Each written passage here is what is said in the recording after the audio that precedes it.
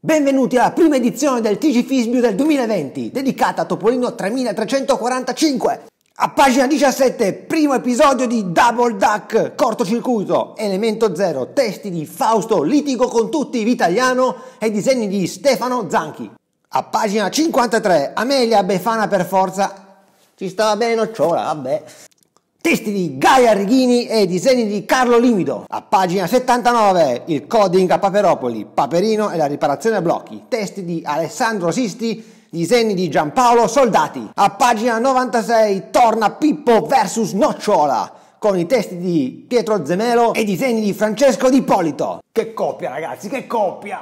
A pagina 111, Paperina alla Casa Armonica, testi di Marco Bosco, disegni di Roberta Micheli.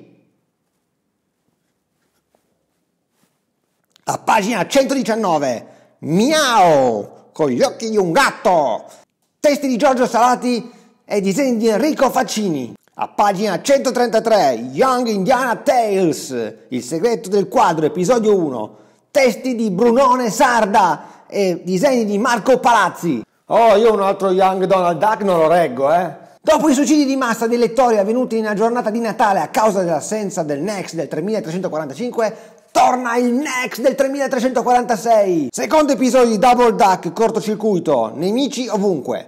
Un salto nel passato, delizia di cioccolato. Pico de Paperis e la cura autostimante. Paperino, macchinista velocista, probabilmente rota danese. Secondo episodio Young Indiana Tales l'amuleto indiano e infine zio Paperone e il bricco del coboldo. E adesso passiamo la linea al nostro colonnello Fisbiacci per le previsioni meteo. Benvenuti alle previsioni meteo di Paperopoli e non solo.